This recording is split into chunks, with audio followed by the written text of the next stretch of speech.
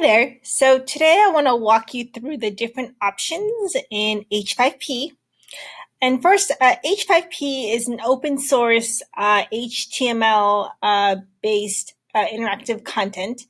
And they provide all these different open source tools that you can use for your online course. Specifically, if you are using Thinkific uh, to uh, host your online courses, these are great tools, and I'm going to walk you through the different options here and how you might uh, think about which options are great for your curriculum.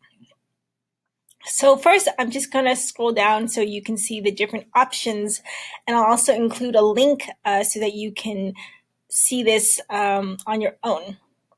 So uh, you'll see there's a there's an option for course presentation, interactive video, memory game, accordion, quiz, charts, and so many more. I'm not going to walk through each one because there's so many, but I want to just focus on one in particular that can really enhance your online course. While we all know video is great, this uh, option for interactive video really takes um, your video to the next level by allowing students to click on it. Uh, you can uh, give them little quizzes. You can just sort of um, get them to engage rather than just passively watch the video. So we're going to click on interactive video just so that you can see a little bit more how it works.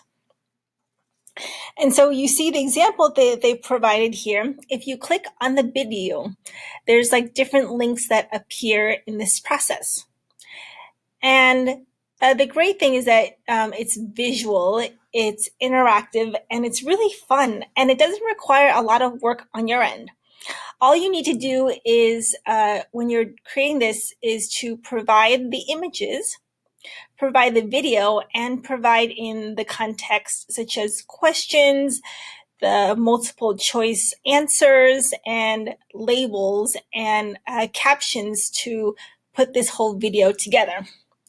And so you might ask, well, why is this really uh, advantageous for my course? Well, it's really just a different way of helping your students learn. You're really teaching them concepts, but allowing them to sort of take part in the process of learning by uh, making notes, by seeing uh, questions, and by seeing labels.